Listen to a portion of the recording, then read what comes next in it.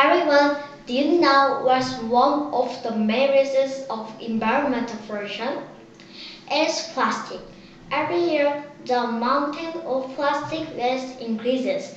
It takes 500 years for plastic to rot.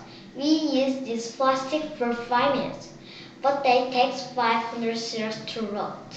We really need to think deeply about this fact, and plastic or similar waste products go into the sea, causing harm to the marine life. Do you know that? We eat these animals, there is plastic in the ocean. It's the same as us countless pieces of microplastic.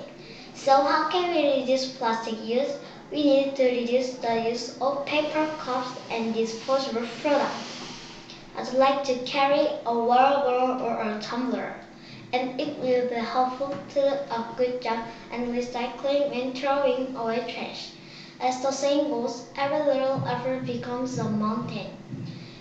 It will bring great results if everyone small efforts are gathered.